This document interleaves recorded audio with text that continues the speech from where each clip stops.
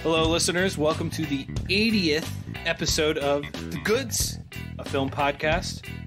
We got ourselves a treat this week because we have another guest appearance, and it's a repeat appearance. It's our pal Gargus. How are we doing, Gargus? I am doing perfectly peachy keen. I'm glad to hear it. And Brian, as always, every week it's a pleasure. How are you doing, Brian? Yeah, glad to be here once again on the big 8 0. Yeah. We've got a, a weird one to discuss here tonight. You know, I'm always a fan of those. Yeah. Love us a good strange film. Brian, you did some drone filming this weekend. That's right. Went down to the Williamsburg area and I was helping out getting footage for a documentary on farming. So we had some nice big fields to explore. And I think I got a lot of good footage. And, you know, toot my own horn there, but uh, it's something I have been branching into. And so if you need drone services for your realty video or you're inspecting a roof, give me a call. The Goods Film Podcast at gmail.com for your podcasting needs as well as your drone footage needs. Gargus, you, uh, brought to us last time Hedwig and the Angry Inch, which was unusual in its own right, a, a musical. I think this week takes the cake though on ter- in terms of uh, strangeness. So you pitched me this movie as Neko Z Alenki. I don't know how you actually pronounce that. I I googled it and realized in the U.S. they typically just label it as Alice. Yes, it's a 1988 film. Although I prefer to go with the original Czech title, which I think is something more like I, I don't know how to speak Czech, but just going by having watched the film in Czech this time, Neko Zielenke, with a bit of an e sound at the end instead of an e. Okay. It translates out to something like Alice, which I think is a far more appropriate title for this adaptation, given its radical reworking of the original material. Yeah, I think it's worth saying that uh, n- none of us speak Czech. I don't. I don't think, and it strikes me as as something of a difficult language, at least when it comes to pronunciation. So uh, take any Czech name or word we attempt with a grain of salt. Yeah, because we're not authorities. Well, fortunately, there's only about one character in the entire film who has a Czech name, and it's one that readily translates back into English. So that's helpful. We can just say Alice. Right, but we uh, we do have a director I say Jan Svankmajer. Uh, what have you guys settled on? I was actually looking this up earlier. I listened to a few things from him just to make sure I had it. I believe it's Jan Svankmajer. Okay. All right, I can live with that. My guess was Jan Svankmajer, so I think we all got pretty close. Yes. So, had the two of you seen any Svankmajer films before? Uh, yes, this was the first one of his that I discovered. I actually found it through the uh, same source that I found Hedwig. It was the website 366 Weird Movies, which is one of my favorite sites. They used to have a thing going where they were trying to find a definitive canon of the 366 weirdest movies, one for each day of the leap year. And now that they've done that, they're continuing on their mission with an apocrypha list that's as a separate but equal sort of addition to the ones they already have. This site rules. Brian, have you ever been to this site? I haven't, and clearly I'm missing out. Yeah. But yes, they have they have all sorts of wonderful things. I mean, even the stuff that they outright reject for the list, a lot of the time it's interesting to look into. That's really cool. I'll say that where I first encountered Svankmajer was the Facebook group ISF Incredibly Strange Films and I uh, I hadn't seen this one yet, but I've watched several of his stop motion shorts that often use clay, and yeah, definitely some weird, upsetting stuff. Yeah.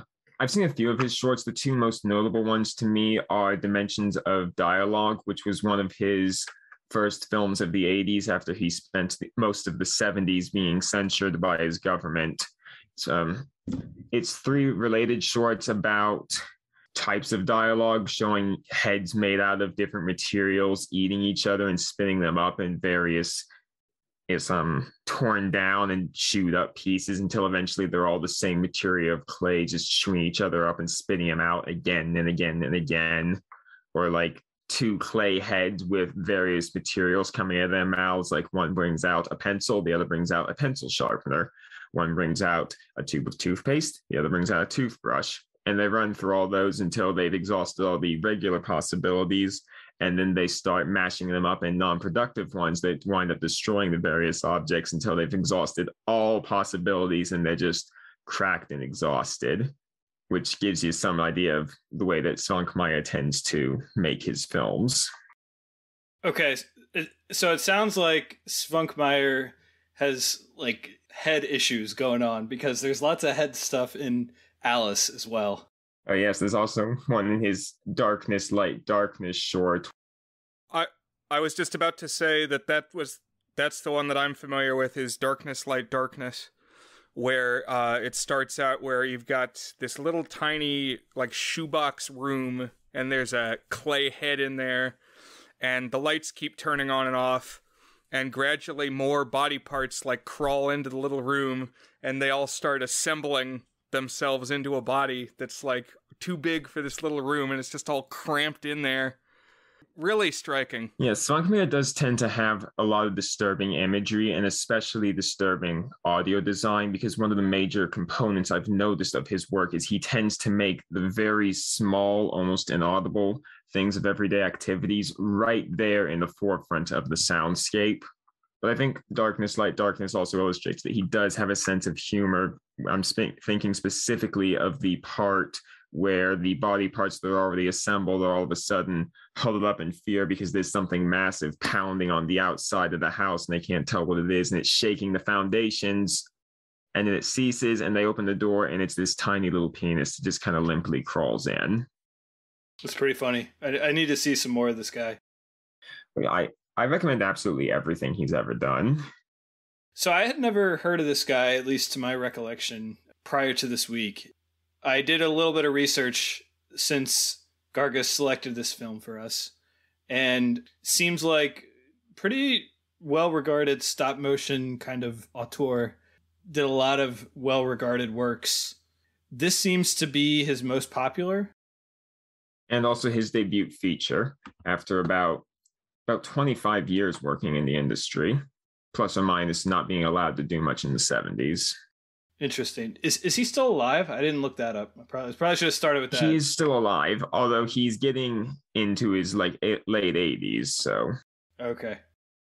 I believe he had his what he intended as his final film, Insects, premiere back in 2018. Oh wow. Okay. Yes. He hasn't done that much in terms of features compared to his dozens upon dozens of short films, but I also recommend his adaptation of Faust, his adaptation of uh, Little Otik, and his original work, Conspirators of Pleasure, which I think may be his best work, even if it's not my favorite. Otherwise, I would have brought that one on instead. Gotcha. I I wonder if Jan Svankmajer has ever met Jonas Mekas. That's what I want to know. I think they're well. I guess uh, I guess Jonas Mekas isn't alive anymore, right? But he there was a period of time where they could have met. But he was Lithuanian, not Czech. That Jonas Mekas is the avant-garde filmmaker who made uh, as I was moving ahead, occasionally I saw brief glimpses of beauty, which Brian and I disagreed on the quality of quite a bit. Yeah, we had some differing opinions, but do you know I've wanted to see that movie for ages, but I've never been able to track it down. Let's just say that I would recommend it and Brian would not. Yeah, but we could hook you up. And as far as offbeat Eastern European filmmakers, he he's our touchstone so far. I know the one who is the most direct of an influence on Svankmajer is uh, Jiri Trnka, who was another stop motion animator who worked from the 40s to the 50s and the hmm. 60s. I'm not familiar with him. Sounds like I got my my work ahead of me for like getting up on this really interesting stop motion stuff from the yeah from Europe.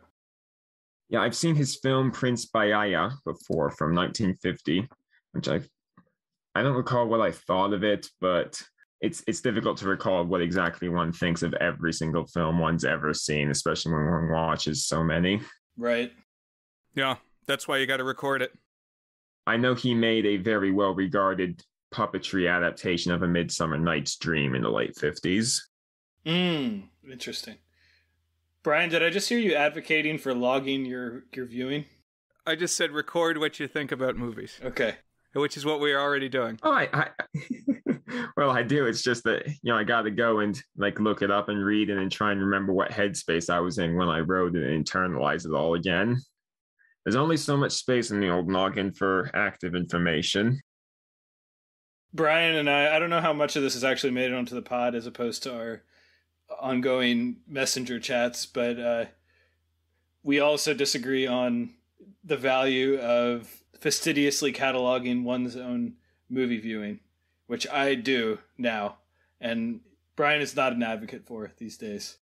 I, I just don't care to have such a list. I, I I don't need a list like that, and certainly no one else needs a list of my viewing habits. That's entirely fair. I'm just an obsessive.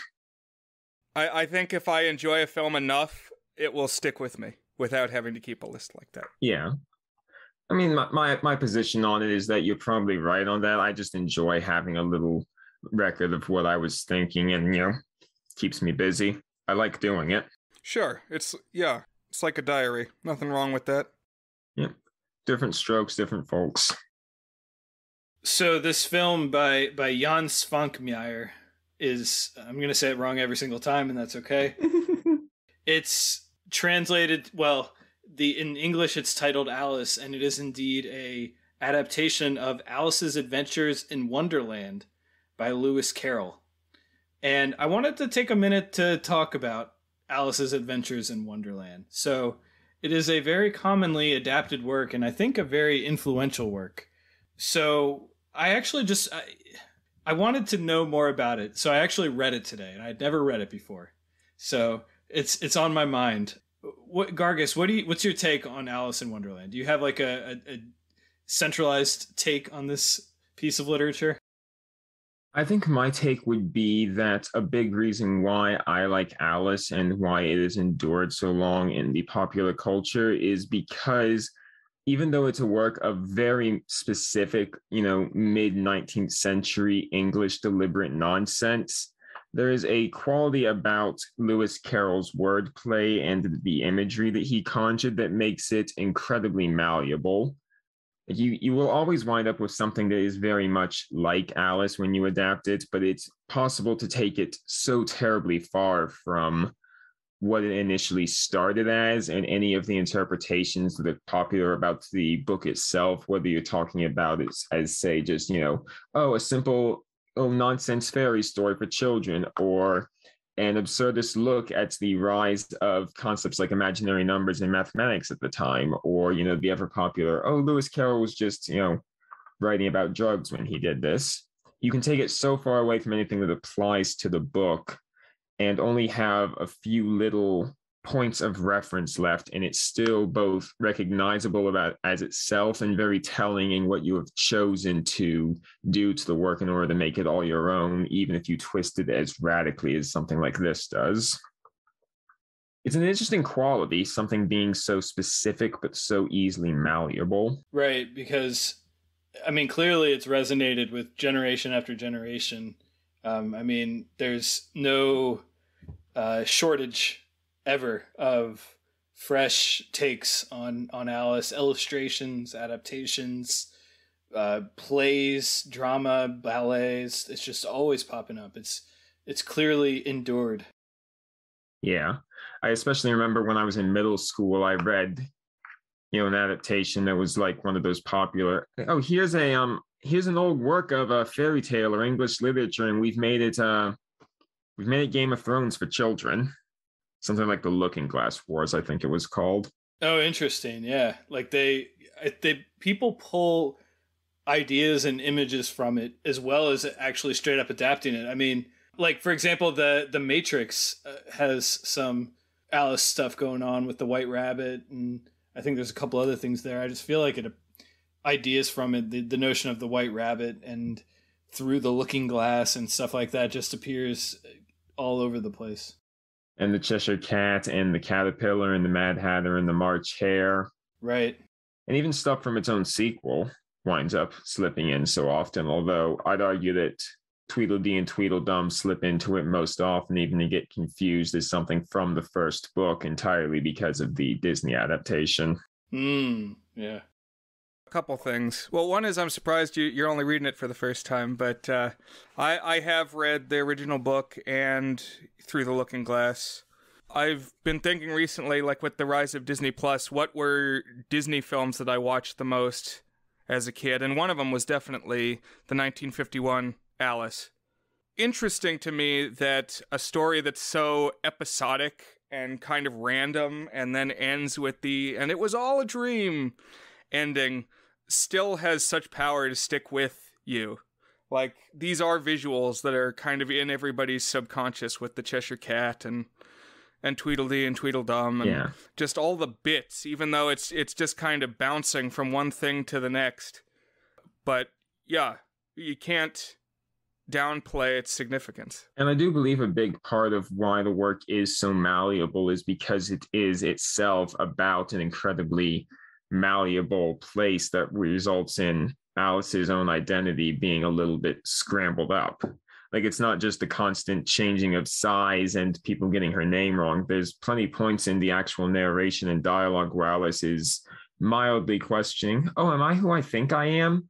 And then she does the things like where she tries to do her recitations and it comes out all garbled nonsense. Right. That you can twist it up like taffy, but that taffy twisting is sort of baked into the very concept and way that the narrative plays out. You're right. It's more than just the imagery. It's like the aspect of identity is kind of a big piece of it too. Like knowing oneself and, and all that. It's a very strange and specific set of imagery, but because it is attached to something so general as a sense of identity and a work that is, you know, very much for children, but also has these elements that are a little bit more, I suppose adult would be the right term, lacking in the better one. But either way, it's it's working with broad universal themes and isn't 100% clear how or why it's doing that, which I think leaves it open to people taking it and claiming it as their own again and again and again, even 150 years later. I think that's probably a big part of its enduring popularity. What you just said is that it avoids very easy thematic explanation because there's just so much going on with it that it doesn't really neatly tie together. Like you can't strictly say it's just a Victorian era satire. It's just a parable about coming of age. It's just a hallucination from the hookah. It's like it, it can it can withstand all sorts of different readings because it just doesn't really have one thread that ties it all together. Yep.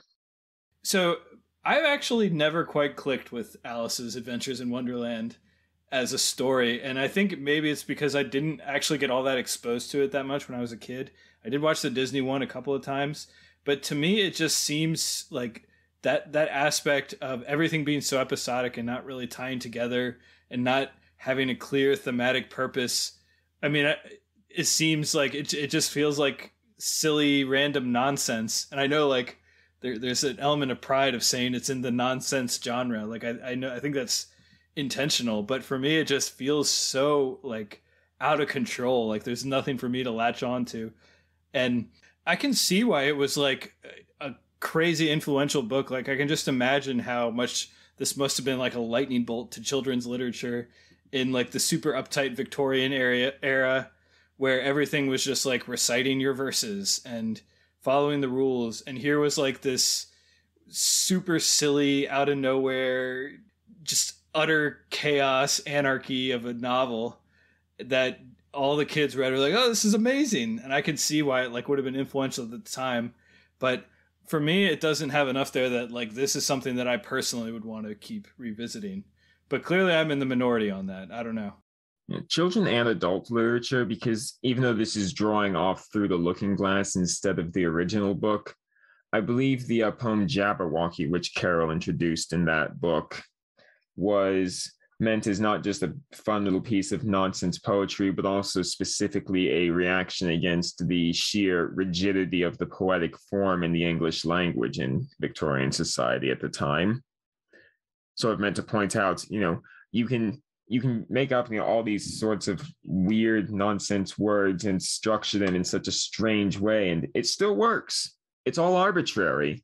Mm, interesting, yeah. You know, 'Twas brillig and the slithy toves did gyre and gimble in the wabe, all mimsy were the borogoves and the mome raths outgrabe. That that scans, but you look specifically at it and it's nonsense. Right, yeah. So who's to say that any other word is just like we only agree that they scan because we all use them all the time. So as part of my reading of the book, I did a medium deep dive on Lewis Carroll himself. Mm-hmm. And he is fascinating in part because so much of his life and his perspective has been kind of censored from the world. He wrote like a bunch of diaries and letters, and his family burned bunches and bunches of them. So people don't really know exactly what he was. Like there's there's some basic facts that everyone agrees on, including some important ones, but like lots of things have kind of devolved into like uh, legend almost. So he he's studying to be a priest, and he kind of wrote this story for Alice Liddell, I think is the name, and she was the daughter, I think, of the one of like the heads of the school, the, the, the college that he was studying at, and at some point, and this is like one of the areas of the diaries that have been kind of destroyed uh, he had a falling out with that family. So the most popular legend is that basically he was in love with Alice, who was like 11 at the time, and that there's like lots of pedophilic like imagery and obsessions kind of built into his psyche, if not his work itself, um, and that he like proposed that he would marry Alice or something, and that was what caused the falling out. But there's no evidence to back that up. Apparently, it's just like a, a legend there's like hints in his letters that he had a relationship with a woman or a girl named Ina, which could have been like Alice's older sister or maybe even Alice's mom, which would have caused the falling out, or maybe it was just someone totally different. And because there was some scandal, the uh, the family disowned him. And there was also a weird thing where he got like a, an unusual exemption from becoming a priest, so he never actually took the the black or whatever it is. Took what do you say when you become the priest? Took the frock. Becoming a member of the cloth. I don't know. Yeah, that's it. Yeah, he becoming a member of the cloth. That's what it is. Take the cloth. So he basically spent his whole life kind of as a, a, a teacher, and he did lectures and stuff, but he never actually became a priest, which was very unusual for people who actually went to college and graduated in a divinity school.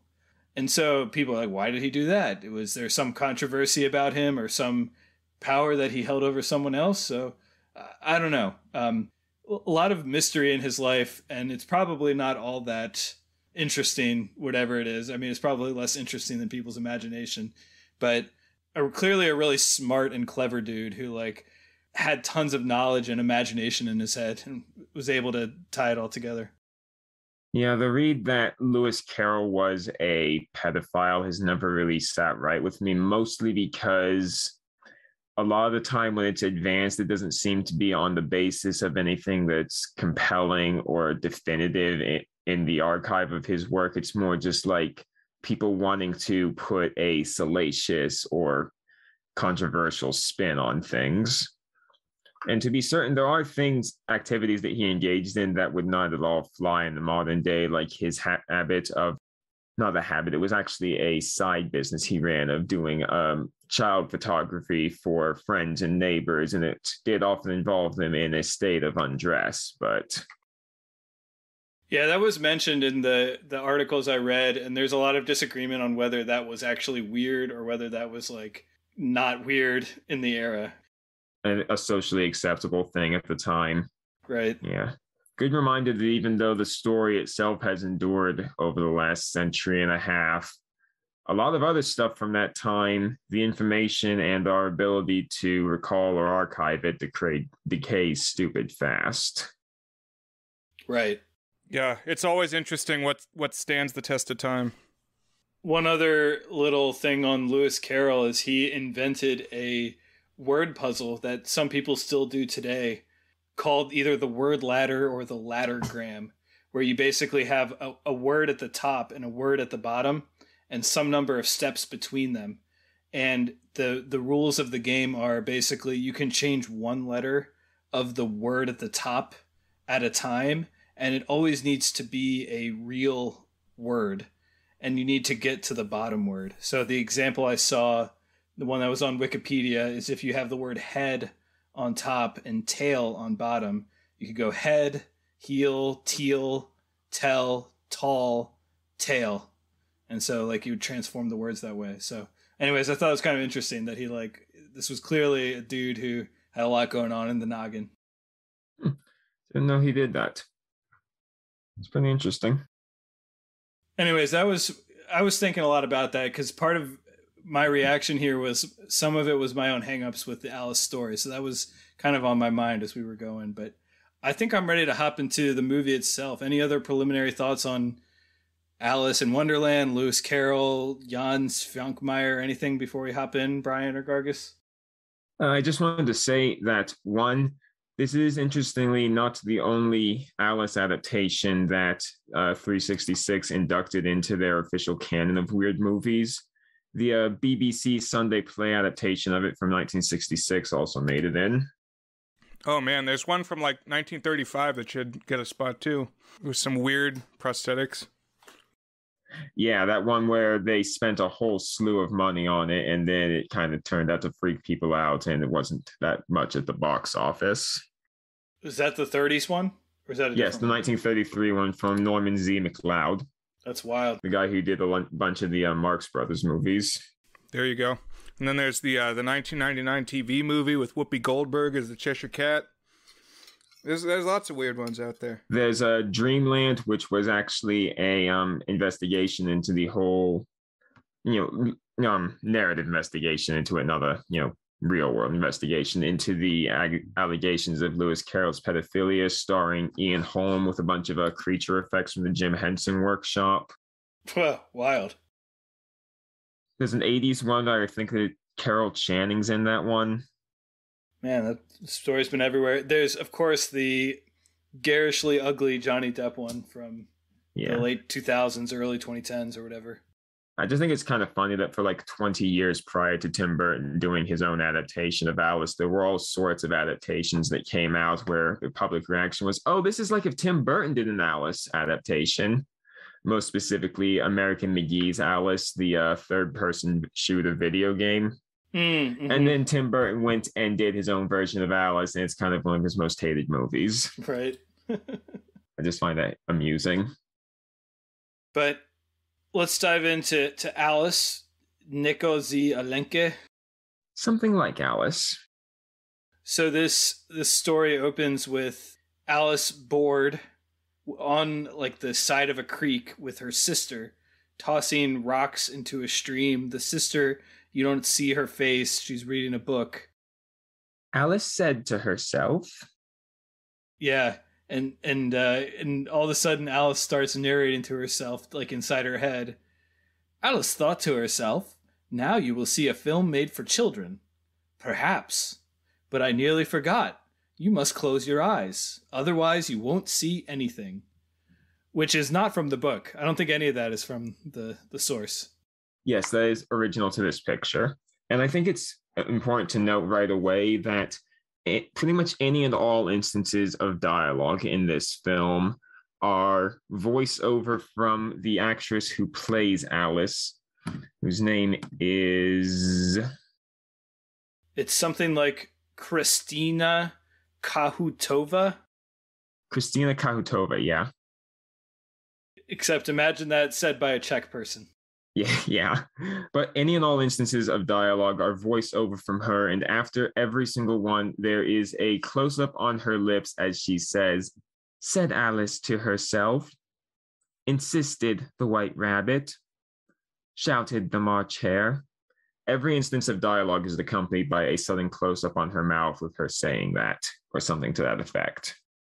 I wanted to talk about this at some point, and since you brought it up now, this is very striking. So you have characters in a world, and whenever there's dialogue, it flashes over to that close up on her face.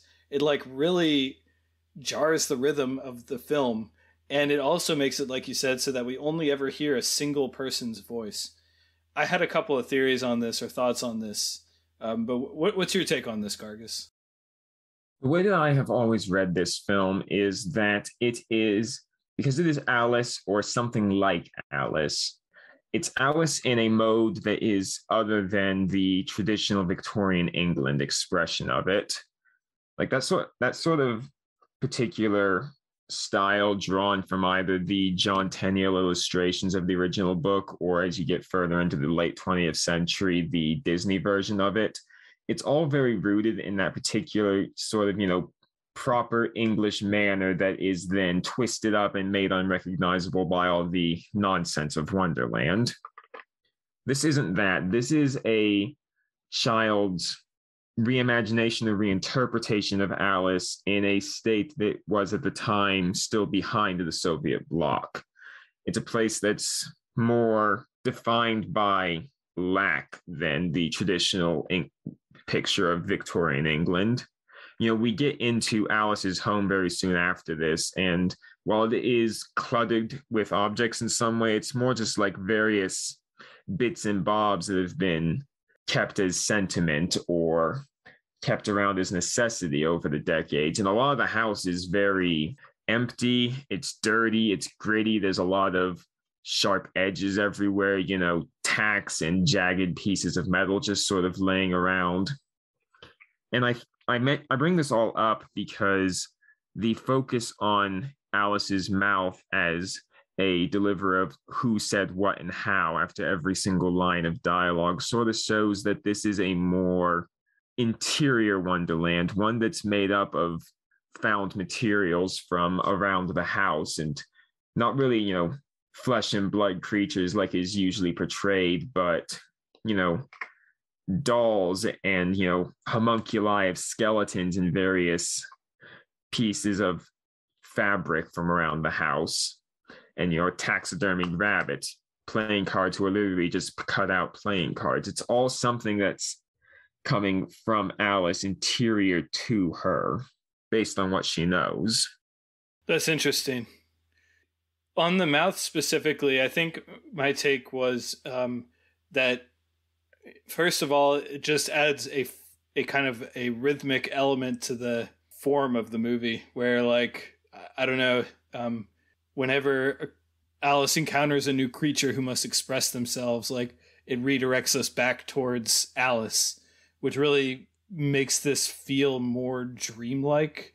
It feeling like this is happening in her head and like the arbitrary logic of a dream and uh, almost like a nightmare but not like a horrifying nightmare you know just like where nothing's quite right.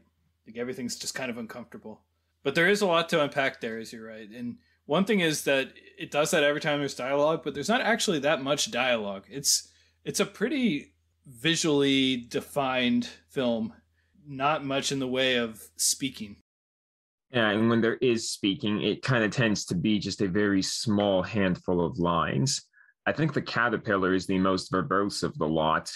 And otherwise, you get into situations where either characters are essentially just repeating the same lines over and over whenever they recur, as with the White Rabbit, or certain scenes just play out entirely without any dialogue whatsoever.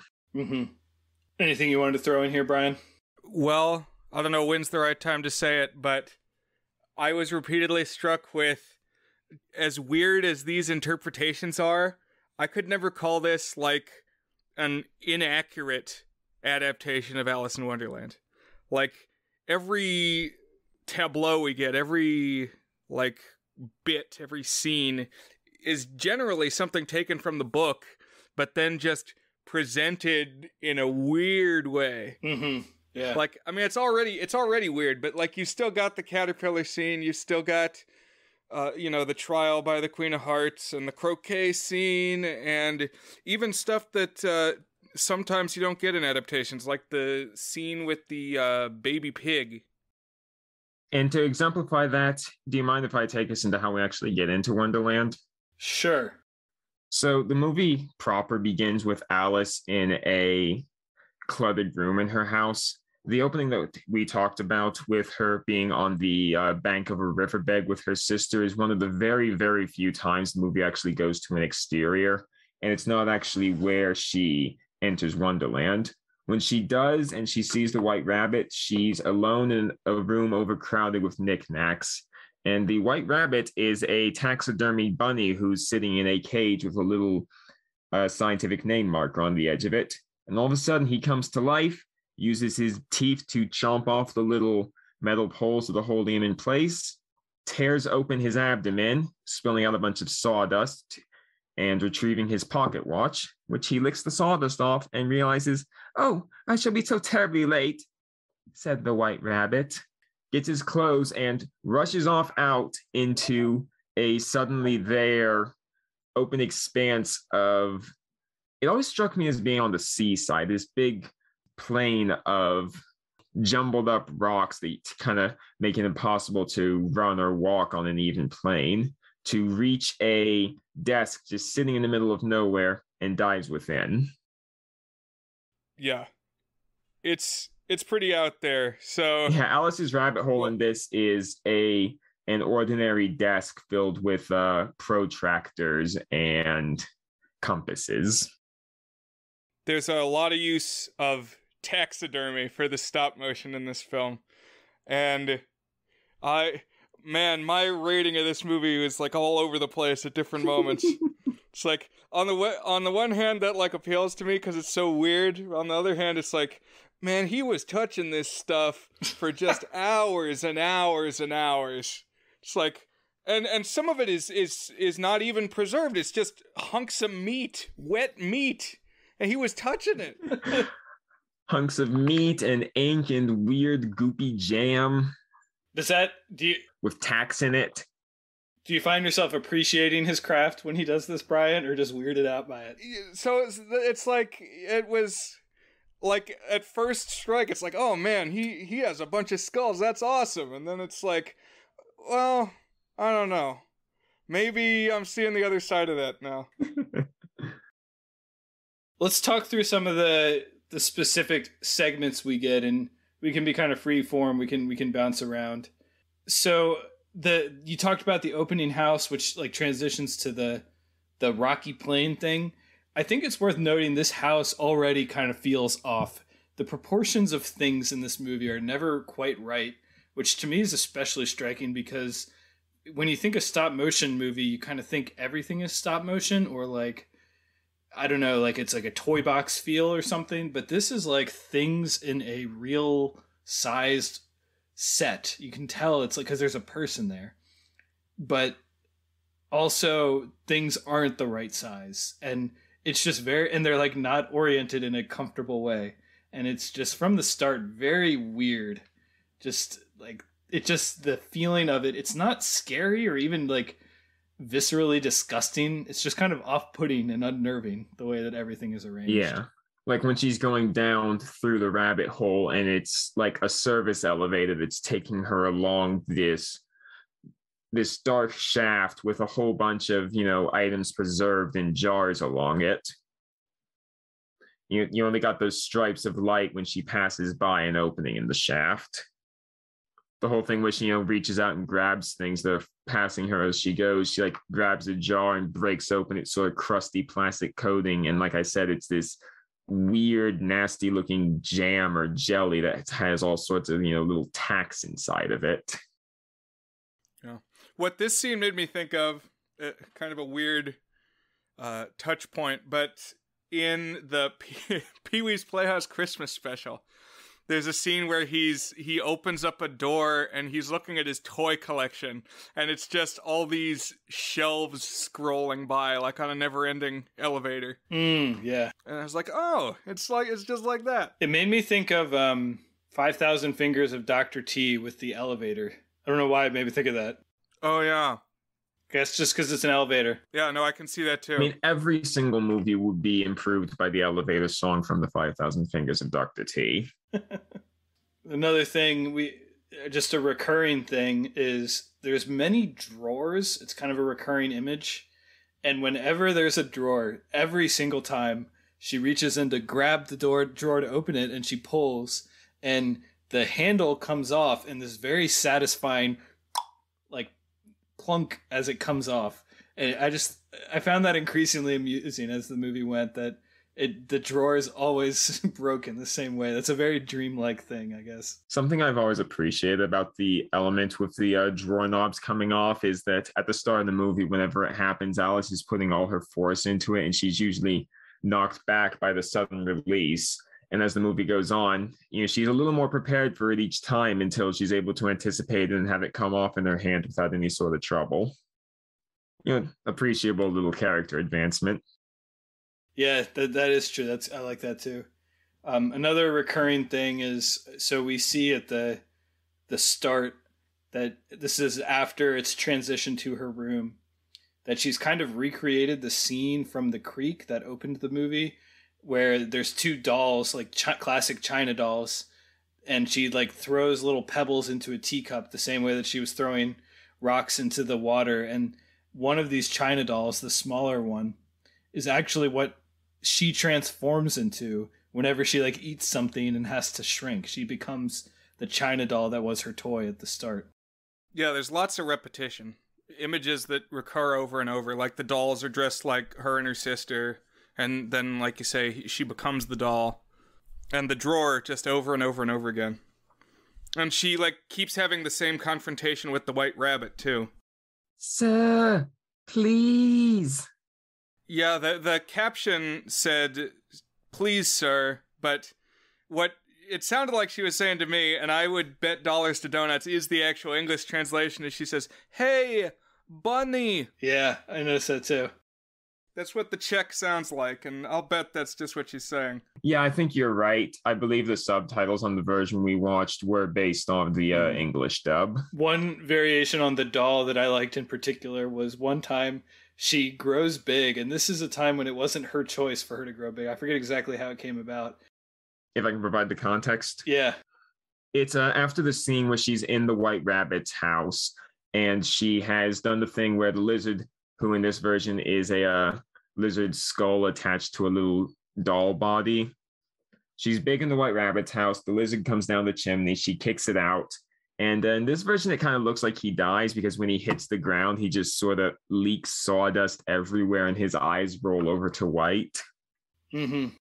Alice is trying to sneak out because she's because the rocks that they were throwing at her have turned into cakes because it's Wonderland.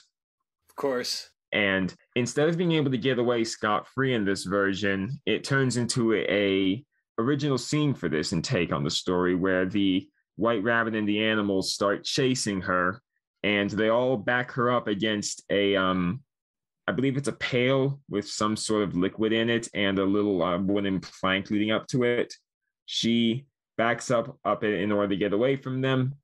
A uh, flying skeleton creature causes her to tip over to it, and like you were saying, yeah. So she she turns into she she's the doll, but then she goes back into human size but she doesn't leave her doll trappings. So she's like literally encased inside the shell of a doll, which she has to like puncture through and come out.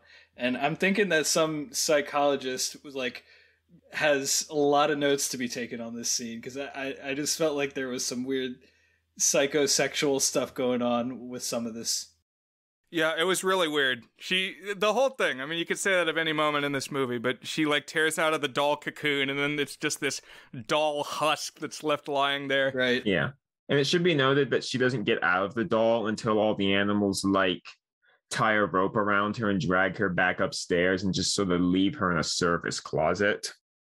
The the scene that leads to this with the it's like this battle between these skeleton these animal skeletons that look very much like real animal skeletons. Had me actually thinking of you, Brian, because you have a skeleton of a cat in your house that I don't know, whenever I see like just full complete animal skeletons, I always think of that. And I, I don't know, what was your reaction to this eh, skelly battle, Brian? Oh, it was a visceral reaction. Yes, because true, true enough. In pride of place in my home is a full cat skeleton that my brother got me for Christmas, and uh, it was a good surprise. He, apparently, he saw it at a yard sale somewhere and uh, got the got the cash together to get this thing to surprise me with. He knew it it needed to be here. He knew you were the man for it. Yeah. And uh, and that's why I say I had such mixed feelings because honestly, I do have an appreciation for taxidermy. I think it's cool that they can preserve uh, animals that way. When you think of organic material being so fleeting normally, but uh, man, th- there's so many, and he mixes and matches them all. He's like he's like Sid in Toy Story, but instead of toy parts, it's all the bones. Yeah, there's like a fish that has like regular human legs strapped up to its front, and they've all got like little glass eyeballs set into their sockets. Yeah, they have these cartoony googly eyes that just make it all the more ghoulish to me. Yeah. Like you think it would count, you think it would counteract it and make it less morbid, but it's almost more. Or like little uh human skull with the big old floppy jester hat that kind of drags itself around on its arms. Oh yeah, it's like there's like a little monkey with the clown stuff. Yeah, but the what really got me is there's this chariot or a like a stagecoach thing that uh, somebody rides around in, and it's pulled by these creatures that are like pigeons with little uh, rabbit or ferret skulls, and but they make horse sounds. and really, just what a crazy juxtaposition. Yeah. That you're seeing those two animals put together that are making a third animal sound, and it it's never not jarring and then yeah so you get used to seeing all these all these different like whip stitch homunculi but then they all charge alice all at once and they're like crawling all over and uh, something like in the moment i wasn't even thinking of is like wow what a accomplishment that these things are moving in stop motion but then you have the real human there. And i mean it looks like it's really happening and it, so she must have been like sitting there for a long time. Yeah. I also love that even though the scene after this is completely original to this film, the amount of emphasis that he puts on these skeleton creatures already sort of gives them more prominence than they have in the book because any instances with them, it's all happening while Alice is stuck inside the White Rabbit's house, and only Bill the Lizard gets any sort of prominence, and his only thing is to get kicked right up the chimney again. Oh, there goes Bill, as they say in the Disney version. There goes Bill. I think my favorite individual scene in the movie, the one that just really captured my imagination, I think is supposed to be the caterpillar scene. She walks into this room and there's on the ground all of these socks, very phallic socks, I'll say, like chewing through the floor, like uh, I don't know, like maggots eating through some organic material or like a leaf or something. Just like yeah, going in and out of the holes. Yeah, and like p- puncturing new ones. And then there's like one chief sock slash caterpillar that is gets its teeth and the googly eyes that that Brian was talking about, or maybe they're more like glass eyeballs or something. It like swallows a pair of dentures and then it talks with them. Yeah, and its mushroom is actually made out of, I think, like a little wooden doorknob. And this was the moment that really stuck out to me where I realized I couldn't point to any moment of it and say, that's wrong. That's not Alice. It's like, it all is. It's, this is the scene from the book. And yet, through this bizarre lens.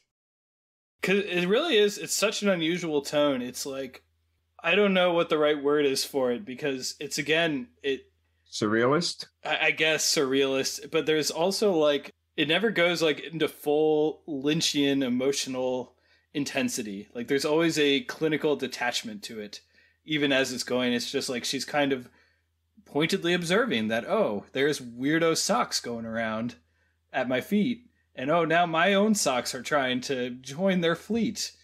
And yeah, I don't know which is very much in keeping with some of the tone that Carroll uses in his original work. I agree with that for sure. Yeah. Alice is nothing if not a very stout hearted and steady heroine. Right. Even if she can get a little bit frustrated. D- definitely devoid of whimsy and like the silliness is like uh, almost disgusting visual play. I think it should be noted also that when the caterpillar has finished with its scene, it goes to sleep by engulfing the mushroom it was sitting upon and grabbing a thread and a needle and sewing its own eyes closed. And then Alice tries to leave the room, and her own socks try to run off to join the fleet of tube socks that are shuffling through the floor. So after this caterpillar scene, we get this visual thing that just really struck me, and I, I couldn't place exactly what this was from the book. I, maybe it was from the second one because I only read the first one. But it's like this frog hopping around catching flies, and this frog has the most disgusting tongue of any creature that has ever existed. Oh yeah, the fish foot. Is it a fish? The fish footman and the frog footman. They are from the book. Okay, gotcha. But yeah, this is like this is also around the time when we get the living meat that Brian was talking about. Just for like four minutes, this movie is like an overdrive on the here are flabs of flesh hopping around. Yeah, man. I I mean, I just have the barest inkling of how long stop motion takes.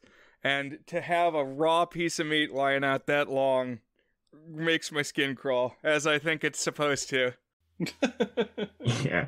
Although, in fairness, I do think the footmen are clay, especially since, like, there is a part where, since Alice is slightly out of scale with them, they they do the thing from the book where they bow to one another and their wigs get entangled. But in this it's not so much just like regular entangling. The wigs come to life and start fighting each other. And alice goes over to intervene and put them back on their heads. And there's a single shot where she's in frame with the uh, footmen and they're just sort of like clay puppets that are sitting there in a single pose right but it's like one will open his mouth and then we'll be treated to a horrifying shot of this real meat tongue, and then it'll like curl back in. oh, and it has such a wonderful sound to it when he's hopping around grabbing flies. Like mm-hmm. Yeah, everything in this movie sounds wet. That's the Jan Svankmajer touch. We also get the classic Mad Tea Party with the Mad Hatter and What's the name of the hare? The March Hare. The March Hare. That's right. Yeah. It's like the Mad Hatter's like a Don Quixote looking doll. He's like a marionette. Yeah. Yeah, he's well, he's an automaton. He's like an old school, like a ventriloquist dummy.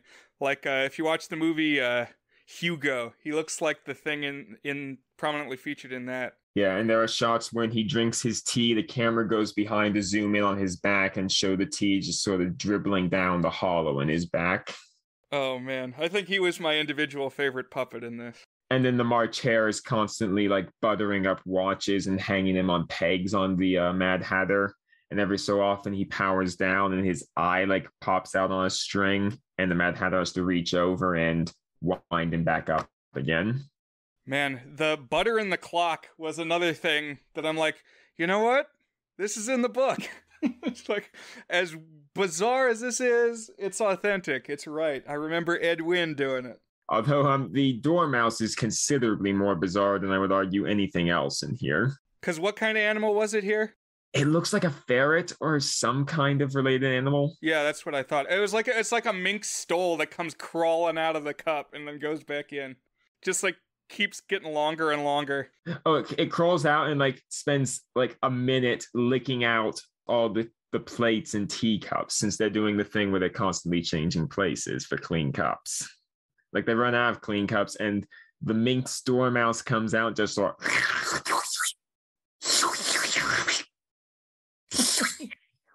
like a minute. Man, I, I read the book after I watched the movie and I didn't even place that thing as the dormouse. That's crazy. Yeah. but yeah, the, the, the Mad Tea Party scene I think is also worth talking about for just a minute because it really exemplifies how Svankmajer has stripped out a lot of Lewis Carroll's playful wordplay in order to get it down to just the barest essentials. Because it turns into this really tight loop of just like the Mad Hatter and the March Hare saying a small number of things that they say in the book, like you know, the whole "Why is a raven like a writing desk?" Your hair needs cutting. I want a clean cup. Let's all change places. And as the scene goes on, the amount of time in that loop gets shorter and shorter until at the end it's just sort of all the stuff one after another after another after another in this tiny little loop of madness. It's almost like one of those things, I don't even know what they're called, like kind of like a wind up toy or something where I'm thinking of it's it's spoofed in Shrek when they do the little uh, it's a small world song.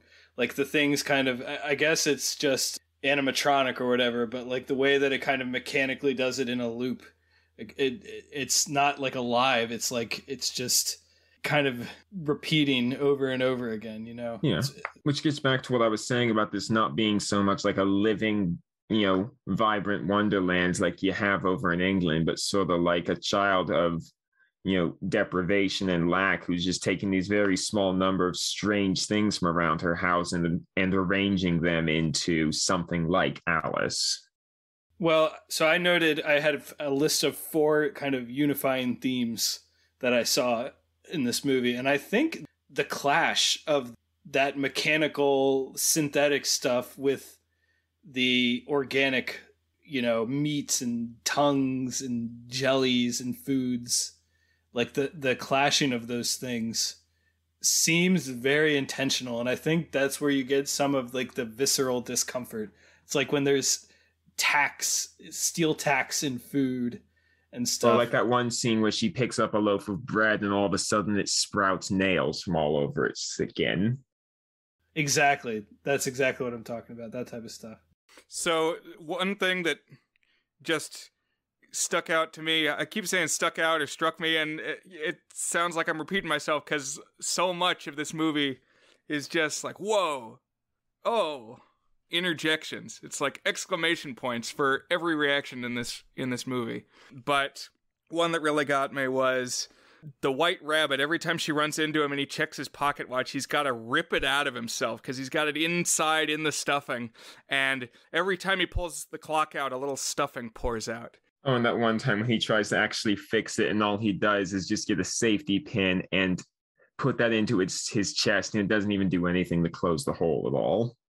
Right, but what that conveys to me is mortality. Mm. Because I mean, his his guts are pouring out, but what is he doing? He's checking the clock. So time is passing, and he's getting older, and he's decaying. Hmm. Maybe this is just a, a midlife crisis read, but it's like, wow, every time he checks the clock, a little bit more of himself is gone. Well, he is late for a very important date.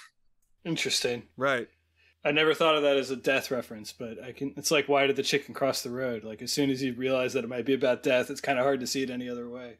Yeah. Also, he doesn't do it every time, but since you he's licking the sawdust off of his pocket watch every so often, and since you characterize the sawdust as being his guts, that's a delightful image now. Uh, yeah. yeah.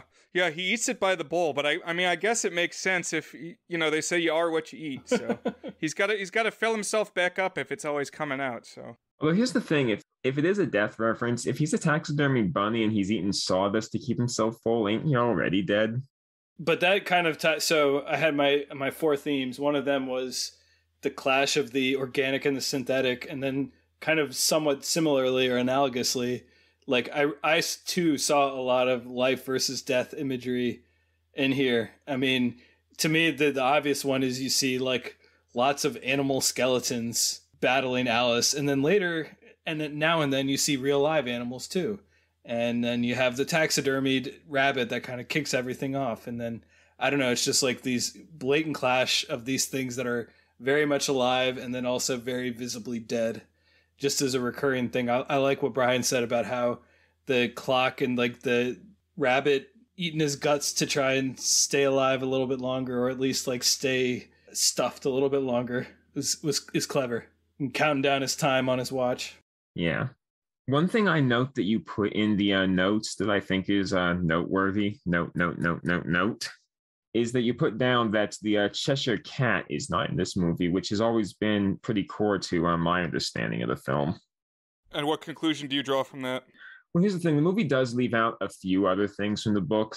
You know, there's no caucus race and the uh, griffin and the and the uh, mock turtle. Yeah, no mock turtle. Yeah. Although you know everyone leaves out the mock turtle, which they shouldn't, but they do. By the way, the Cheshire Cat is probably the only character in the book who is like invested in any way in helping Alice, who actually sort of does. Like he gives her directions and she follows them and she winds up roundabout where he says she should go. Even if he is still about as weird and chaotic as everything else in Wonderland, he is to a degree a helpful character and a friendly face. And I think his absence here couples with the fact that accepting about two scenes the one where she goes out on the rocky plain to go down the rabbit hole, and the brief bit where she's washed outside and winds up on another creek bed in her doll form. The thing is entirely set within this house. I think that sort of exclusive interiority and the fact that the Cheshire Cat is just completely absent, not even in any sort of hint do we get to his character, no small portion at all.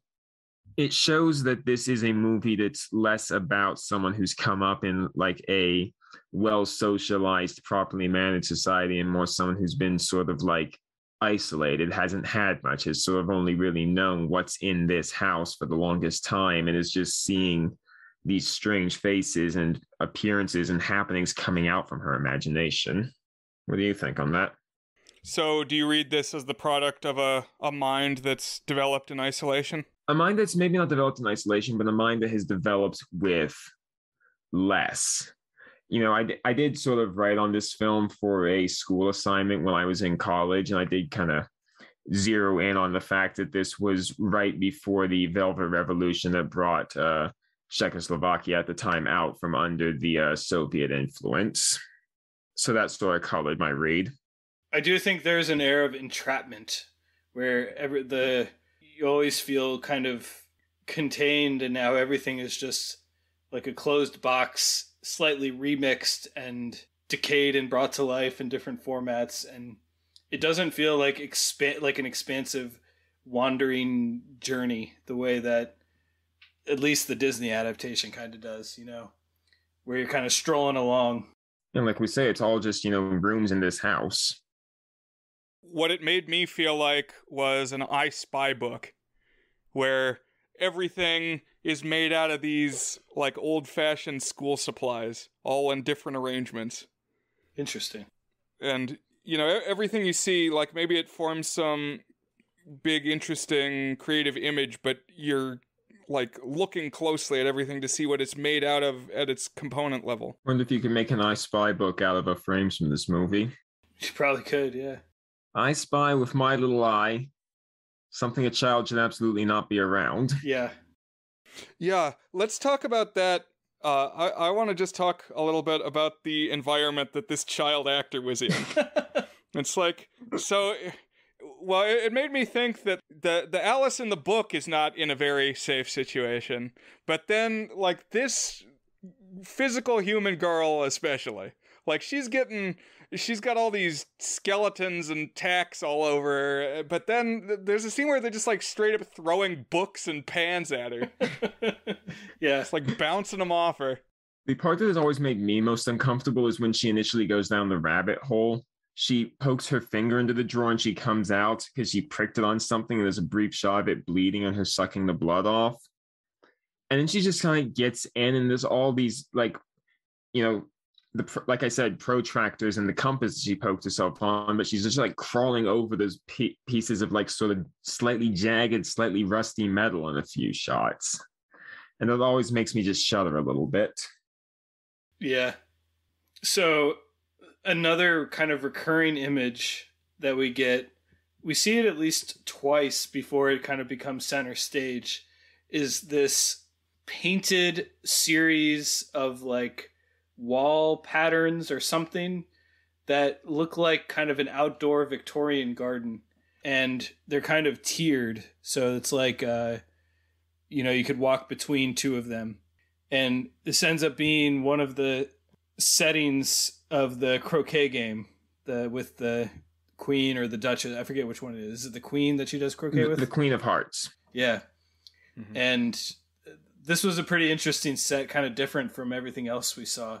And when she actually goes there, we get some weird effects like she walks left through one and kind of loops back from the right, but she's grown in size as she comes back from the right. Hmm.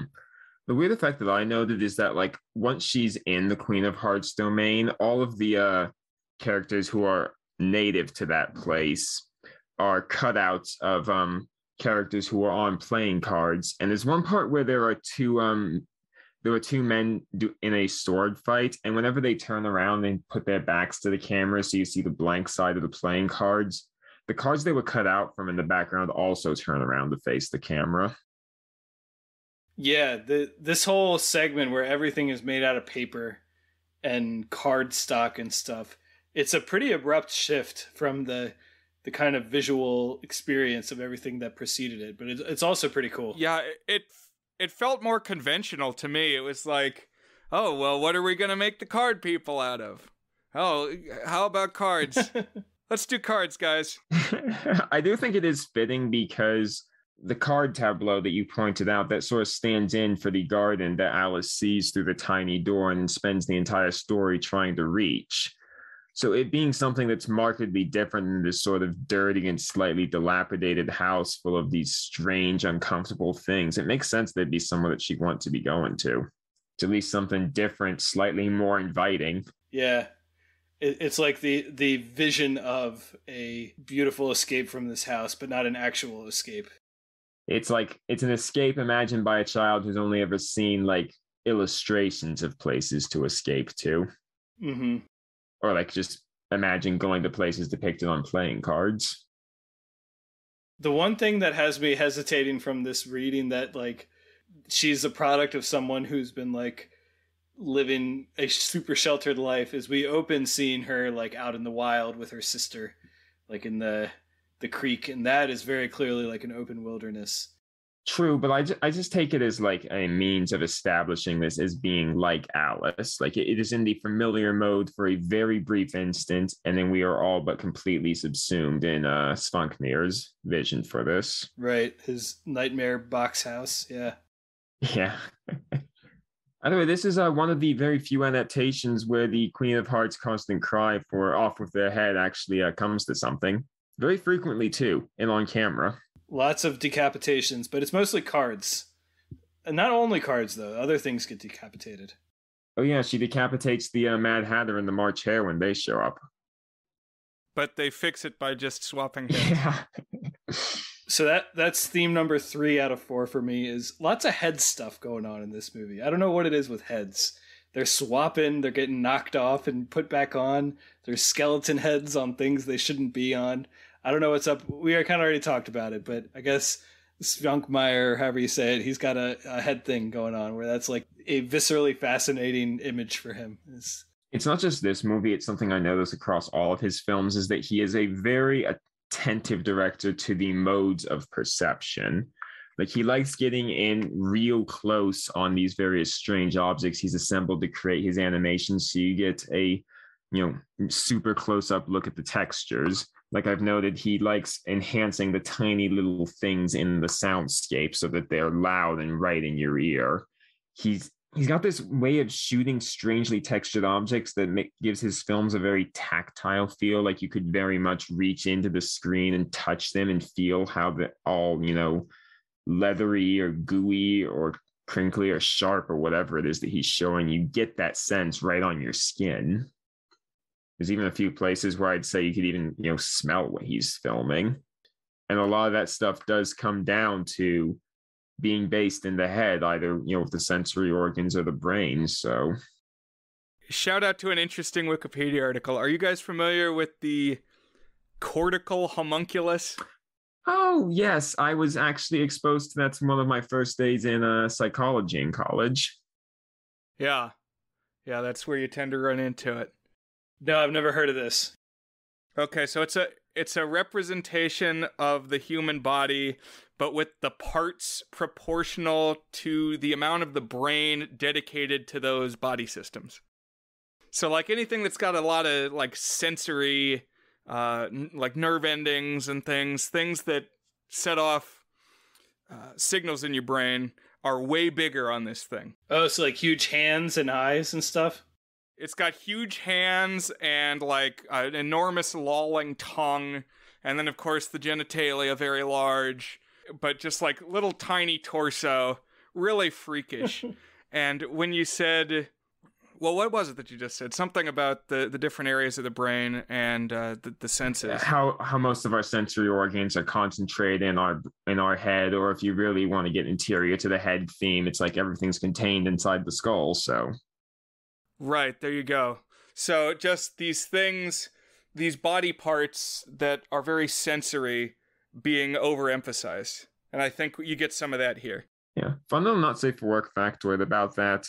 Uh, given the way that all the um, places, the, given the way your brain arranges the uh, placement of the of the areas that are meant to process that sensory information, since the feet and the genitals are right next to each other, there have been instances of people who've had like their feet or legs amputated, experiencing a weird form of phantom limb syndrome, where they because their brain has just sort of generalized to expand out the nearest area to this place that's not being used anymore, they wind up getting orgasms feelings where their feet used to be. That is very weird. The brain's a fun thing. I suppose it's fun. Yeah. It's squishy. uh, we sh- we should say how the the movie ends, of course. So at the end of the trial, she's gorging on these little cracker co- cookie things, biscuits, a trial where she's being more led by the nose than usual. Like they've got a script that they expect her to follow where she's supposed to confess to having stolen the tarts and then ask for the harshest punishment. And it's the Queen of Hearts. We all know what that is. I think I should also note that like it's especially unpleasant with the decapitations because once the white rabbit reaches the queen, he's got these enormous pair of scissors and he walks around like slacking them together with this very sharp and uncomfortable sound. So, you know, it may only be, you know, cutouts and dolls getting their heads cut off, but, you know, still kind of sounds very uncomfortable and unpleasant. I say about getting your head cut off. one would think. I've never had my head cut off. Maybe it feels nice. You're lighter for one. Yeah, that's true. You don't have that big old uh, heavy thing weighing you down up there. But with the scissors coming towards her, she like starts shaking her head like in fear and her head transforms between different characters we've seen throughout the the adventure. More head stuff. Head stuff. Which one? Which one? Which one? And then she kind of wakes up on the floor where we initially saw her saw her taxidermied rabbit come to life in her her room. And she looks around and it looks exactly as it did before things started getting screwy, except the taxidermied rabbit is still not there. And she goes and she reaches in where the rabbit was, and there's like this little drawer where the rabbit's suit was, and she pulls it out, and there's scissors there. And and what's what's the closing line? I think it. Oh, here I wrote it down. She says, "He's late as usual. I think I'll cut his head off." So there's also a shot where uh, she kind of pauses in a cutout card, and she herself is basically taking the form of a the Queen of Hearts that's like a little bit before obviously she wakes up but i always like this idea it's always fascinated me that like is there a mirror between alice and the queen of hearts is there anything to that i've never found enough sense to actually make that connection but this i thought of that connection in my head again is like i don't know something about like the absurdity of growing up and like wanting to destroy everything around you is like an impulse as the world makes less sense the Queen of Hearts is sort of the ultimate child's vision of an authoritarian, someone who's all full of bluster and will always have it her way. Your way, always on my way. You know, that sort of thing. So, and considering that the movie does end with Alice evoking the Queen's famous line, I think there is something to it here. Just sort of like, you know, perhaps something about the journey resulted in her being a little more like the queen, or maybe she's just, you know, continuing on as she always has, something interior to her being expressed a little more openly than it was before. You should read the sequel, Dan. Yeah, I probably should. You got to read through the Looking Glass. There's a lot more king and queen stuff in there, but in in that one, instead of playing cards, it's all about chess. Like the whole story takes place on a chessboard. Okay, maybe I'll read it. Yeah. Yeah, it's always it's always funny to me that people kind of mix up traits between the Queen of Hearts and the Red Queen from that book. Yeah, I mean the the Disney version especially just considers them pretty much as one book. Just kind of bleeds everything together. Yeah. With more with more from the first one, but like I think the Walrus and the Carpenter from that second one, Tweedledee and Tweedledum definitely. Yeah. There was supposed to be a song and a segment dedicated to the Jabberwock that got cut out in the movie's radical reworking that happened during development. Oh, interesting. Wait, in the Disney one or in this one? In the in the Disney one. Oh, okay. I was like, how would that possibly fit in here? A song? yeah, there's no songs in this movie. Not much, not much music either. Yeah, I kind of like that. It's uh, very, it's very striking in its selective use of sound. Makes the sound effects pop a little bit more. Like I say, that's common across pretty much all of Svankmajer's filmography. And it's especially notable in uh, Conspirators of Pleasure, which is all about uh, fetishization. Hmm. Yeah. I feel like I gotta I gotta watch more of this guy at some point. Definitely. But that's how Alice from 1988, Nekozi Alanki, ends with Alice with the scissors muttering about cutting the rabbit's head off. But my fourth theme, which I didn't get around to, and I thought this was going to be the defining theme of the the movie at the start, because what happens is she goes into, reaches into the drawer, and out comes a bloody finger. I was like, oh, this is going to be all about how freaky it is when your body starts changing and you have to start thinking about sex and stuff. That's what this whole interpretation is going to be about. But no, Dan, that was last week. Yeah. yeah, when we talked about uh the 13th year, the Disney Channel movie. But that ended up being not a very clean read as a, a generalized theme. There are moments with it, but it's definitely not like that singular a focus as I was expecting it to be in the first five minutes. I don't know what you're talking about. We've all gone through the part of puberty where we have to emerge from the horrifying doll cocoon. yeah, I don't know about the movie having like a sexual dimension to it. There are parts where I can definitely see it, like you say, with the uh the living tube socks, but as with the accusations towards uh, like Alice in Wonderland as an expression of Lewis Carroll's pedophilia, I don't think it's a very major thing here. And just something that's sort of there to, if anything, if you want to say it was a conscious thing on Svankmajer's part, just sort of add to that element of discomfort that's running throughout. Right. But it's like a third or fourth tier priority compared to, you know, the meat and the sounds and the goop. Yeah, very visceral. Well, let's talk some things that we might not have hit yet, things we liked, things we didn't like, and then we can maybe kind of start wrapping our thoughts up. So, Brian Gargus, what are some things about Alice that we haven't talked about yet that you really liked? Well, we did sort of leave out my favorite scene entirely. Oh, share with us your favorite scene, Gargus. We skipped right past the uh, pool of tears. That's right, yeah. Yeah which here it's sort of like Alice, you know, as in the book, gets frustrated. Nothing verbal because Alice and the characters in Wonderland do not speak at all unless they absolutely have to. Like she just sort of sits down and starts crying, and there's a lot of water running down her face and down her dress. And, you know, across a few shots, all of a sudden the entire room is flooded and I can't remember if there's anything like this in the book. You may be able to remind me, but the mouse comes along, swimming through the water with a trunk attached to his tail. And he climbs up onto Alice's head, opens up his trunk, and starts building a little fire that he slings a pot over, uses her hair as kindling, and starts cooking himself up some soup. Yeah, I I did not recognize it, so I don't think it was in the first one. But that one was really wild. I was like, man, is this gonna like eventually dismember Alice herself or something? Because that that's like one of the closer encounters to actual violence she gets when they're like setting her hair on fire. Yeah, because he, he starts hammering these like stakes into her head. Right. Uh, and I don't know. I wanted her to stand up for herself. She does eventually dunk him in the water, but like like when she's getting the the pans and things thrown at her later in the movie I, I wanted her to like smash some stuff. It's like you're bigger than these things. Just like kick them down. They, they need to stop messing with you this way. She got the power yeah. Yeah. I, I always think it's interesting whenever like characters in wonderland don't entirely regard alice as human. Like the bird who thinks she's a serpent got cut out from this but that's always been one of the more memorable passages to me from the book Although they, we did get a little something of that scene when she's munching on the mush on the on the wooden mushroom, and instead of like turning back and forth from her doll self, it's like some trees in the room keep going from like these full-grown trees to just these stumpy little shrubs. So you know something of that experimental part is still in here. You know when she's chewing on the mushroom, trying to find the exact right size.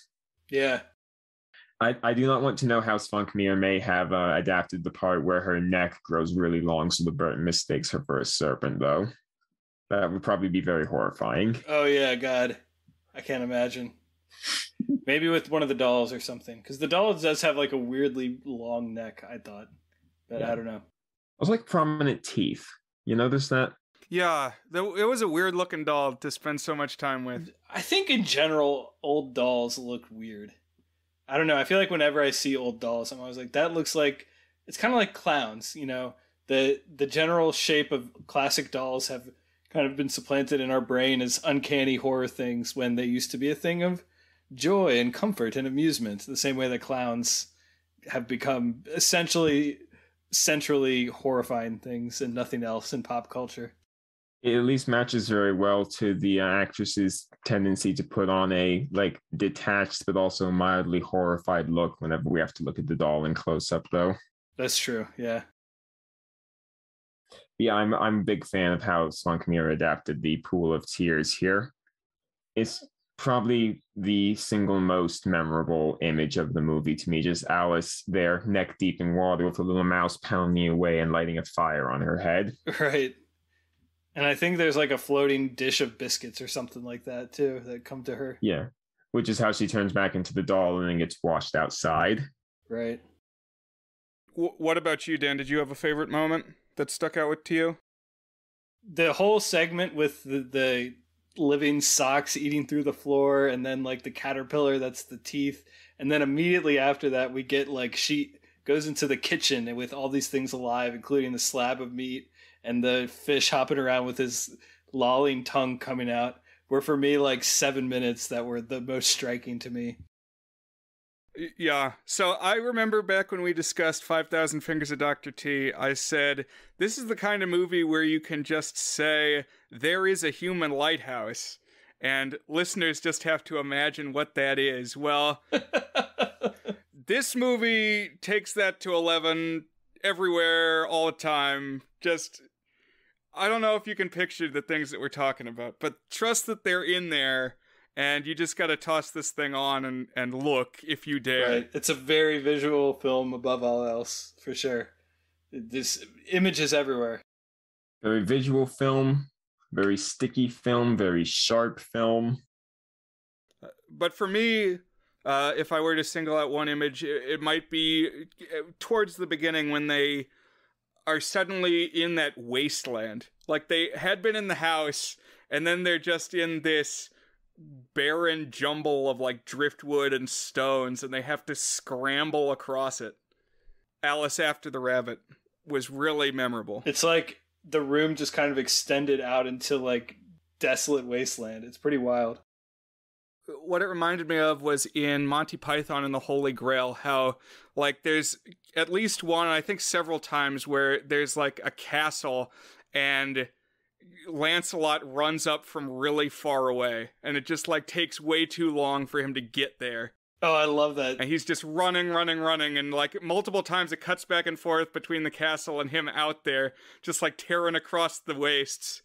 And it just takes him forever, and then suddenly, abruptly, he's there. Or like the Simpsons episode with Johnny Cash as the coyote, and all of a sudden, like it's the desert sprawls out miles and miles. Oh yeah, Is that Johnny Cash who voices the coyote? Yes. that's right. I think it also helps that like for a few for a few of those perspective shots, they've got the camera slung real low to the ground and then just running all herky jerky towards the desk with it like that. Mm-hmm. Gargus, were there any other kind of like overarching things or specific things that we might have missed that were were highlights for you? Uh, I'm thinking, I'm thinking, I'm scrubbing through a copy of the movie right now just to be certain. I do want to note that the White Rabbit's house is like made out of playing blocks. That's a neat little thing. And also always fun when they're like doing the stop motion on and have to avoid knocking anything over because you know it's not stuck together. It's just sort of loosely stacked blocks.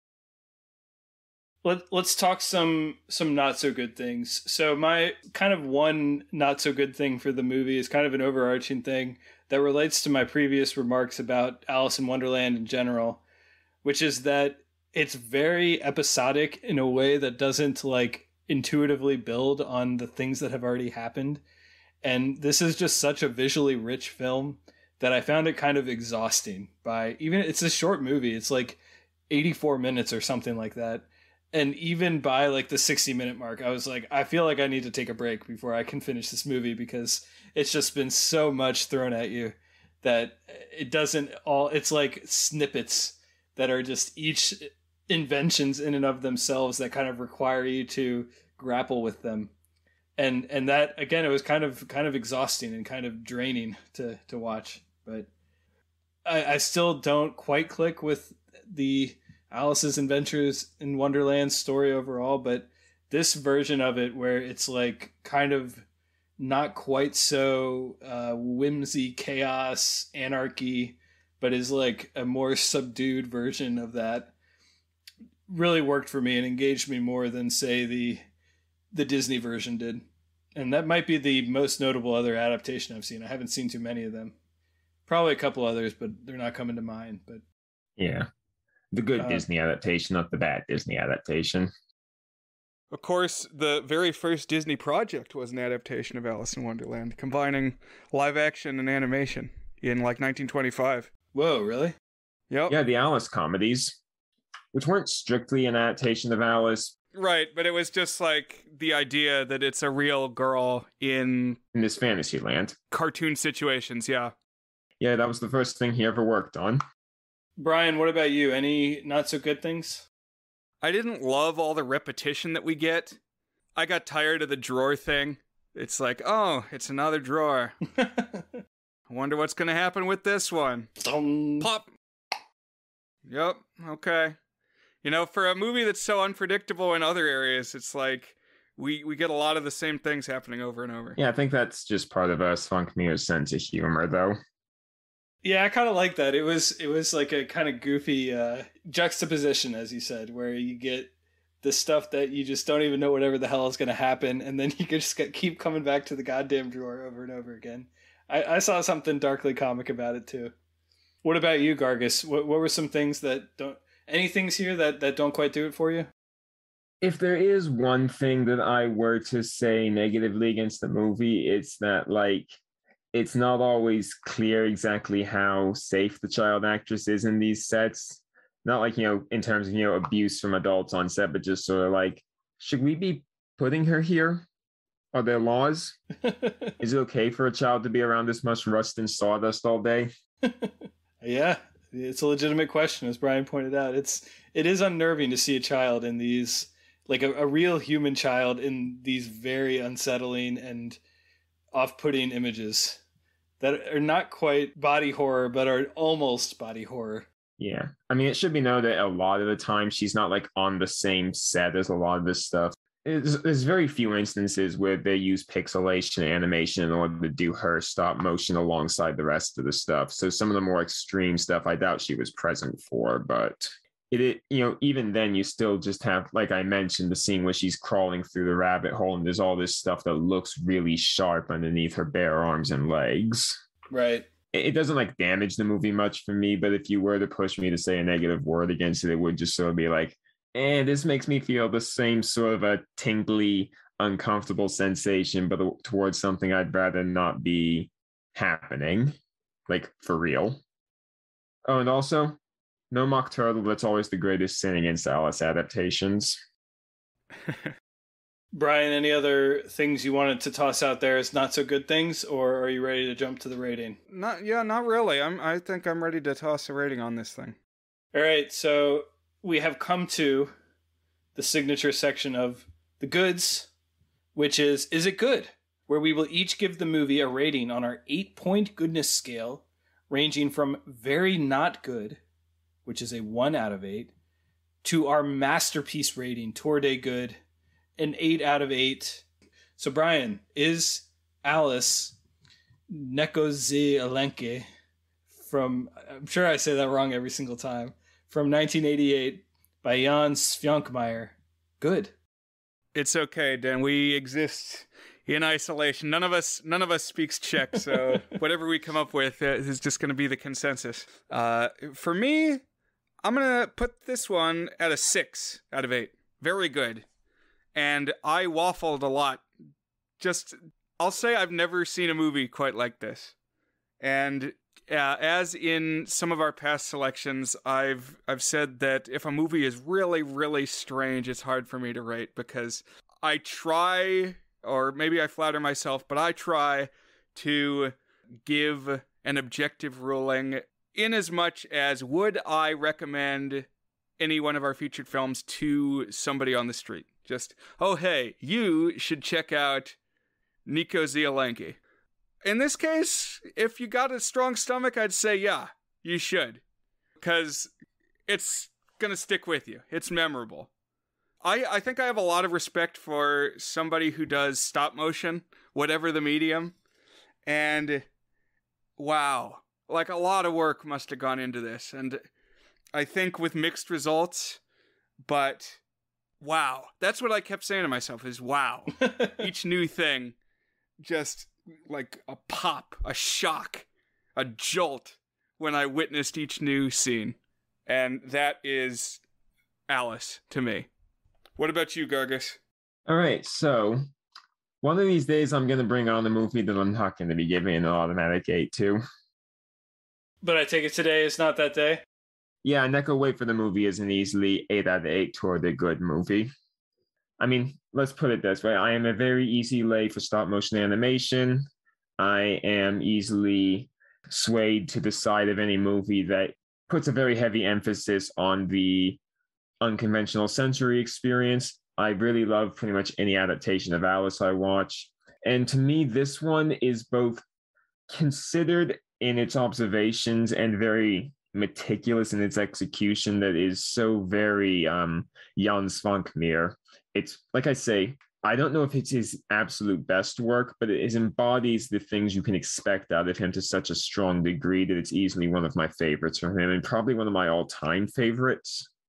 And I'd argue that pretty much all of the imagery in the movie is of an equal power to the original John Tenniel illustrations. And sort of as we've seen through our conversation here, the ways that you can interpret the movie and say, well, what is Svankmajer doing here are not only comparable to the open ended interpretability of the original book, but probably maybe even not surpass it, but come close enough to it that you can easily like pick at this movie and come away with your own interpretation and be able to textually support it however you like to do it. So, you know, one of my favorites, easy eight out of eight. If uh, Brian has a lot of trouble rating movies that are strange, then I'll just have to get even stranger next time I come on.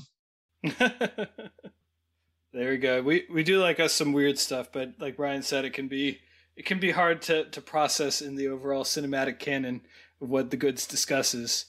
Oh, what's the good of reviewing the canon if you can't ha- struggle a little to define how things fit into it?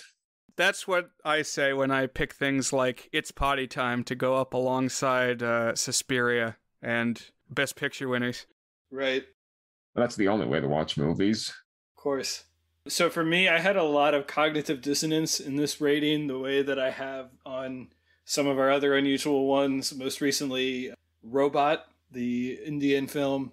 Uh, of course, House is maybe the closest comparison, just in like every scene is a feast. Even if we don't need 17 consecutive feasts, every scene is a feast in some way. And so I had a lot of things I really loved. I mean, it's just, it's, I love it when a movie is as unique as this one. It does something in such a strong way, but also really kind of having its own voice and and just I don't know. It's really its own thing, fully realized. You can tell he wanted to do exactly what he did and he had a very clear idea of it and never wavered on it even as he added in all these wild components and parts to it. Very fresh, probably my favorite uh, version of Alice I've ever seen, which again, it's not comprehensive, but I like this overall tone that's just like on the very edge of your seat, uncomfortable to look at and experience. It's like a viscerally unnerving experience more so than just wacky chaos. That said, I lost steam with it in the last 20 minutes.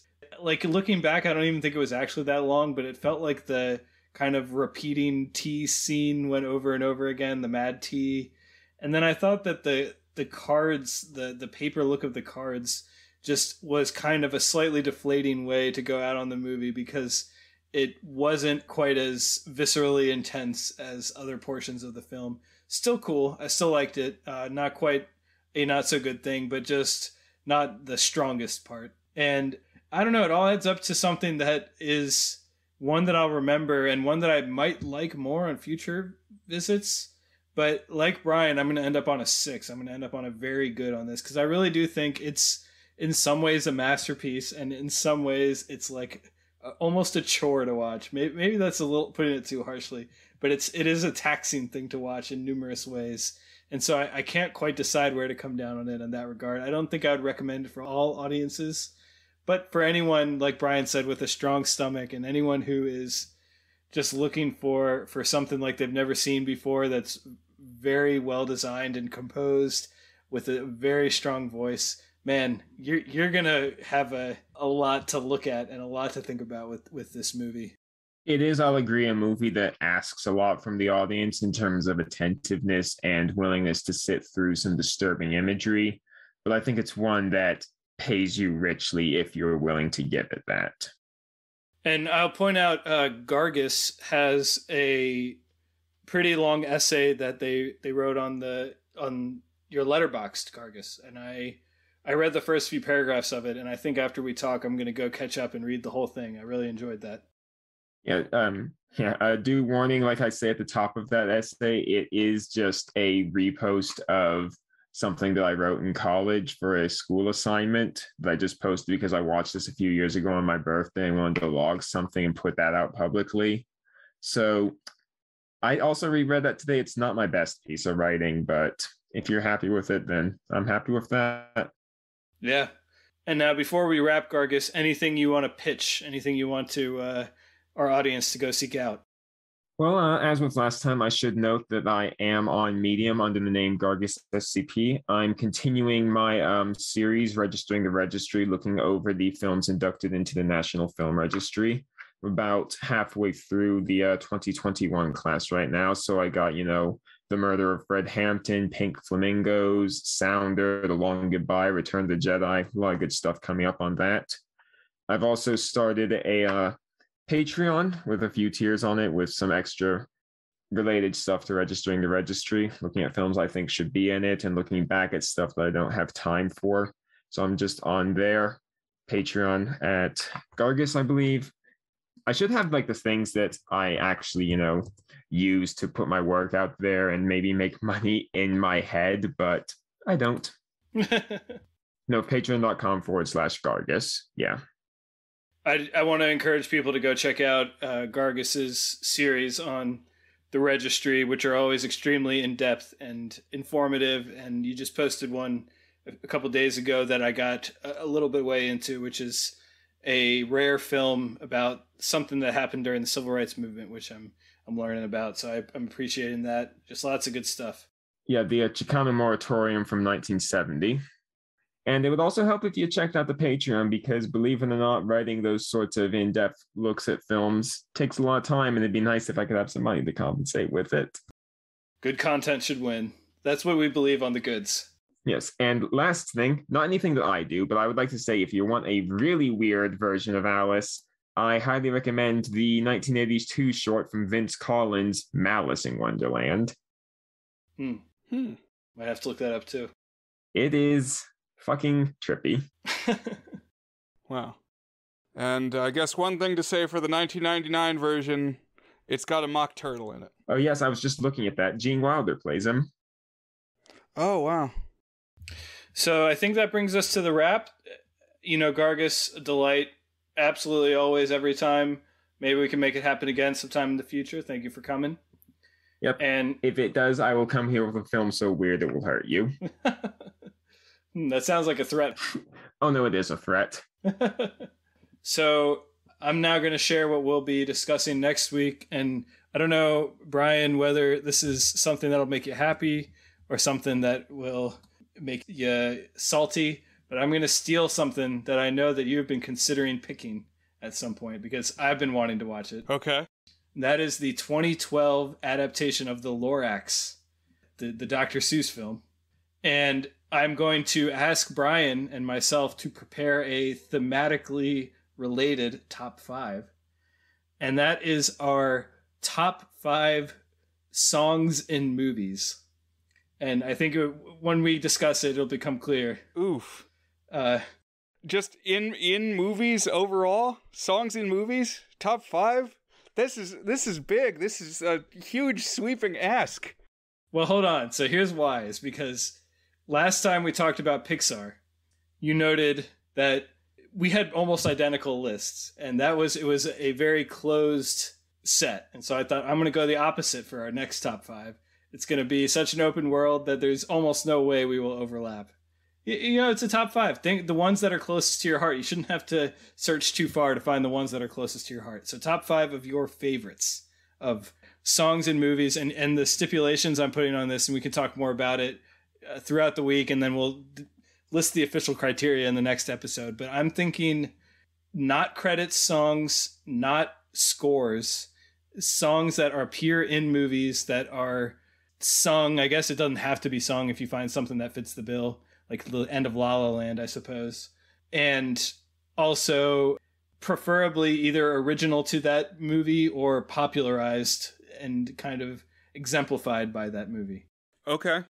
So, you know, they don't have to be from musicals. I can tell you the list that I've kind of started to cobble together in my head. Some are from musicals, some are, are, are not. All right. So, like for instance, you could do uh, "I Will Always Love You" from The Bodyguard, even though it originated in Best Little Whorehouse in Texas. Well, so does she actually sing that in the movie? I haven't seen it.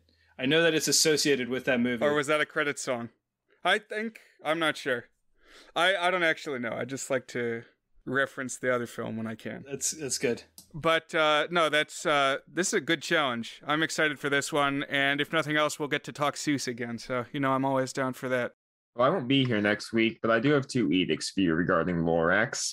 One, since you are talking songs in movies, and I can understand why you're doing it, I recommend you look up the demo song for the Lorax, Biggering, because I think it's better than anything that actually made it into the movie. I was going to mention that it's on your list of bangers. You sent me your list of your favorite songs ever called bangers, and I noticed that, that was on there. Yes, I do a mean version of it. and two, if you two do not make at least some mention of the strange Tumblr Once-ler fandom while discussing the movie, I won't come back next time. Oh, yeah. There's going to be some Oncest talk. Good. I don't even know what this is in reference. Okay, this will be fun because I'm going to be the host, but Brian knows a lot more about this movie than I do. so we'll we'll see where this goes. All right. Well, as always, uh, thank you, Brian and Gargus. Special thanks to you for joining us. This has been a a, a fun episode, something totally different. But then again, different is good, and we are the goods. And uh, listeners, thank you for joining us. Have a good week, everyone. Ciao. I hope you join us again.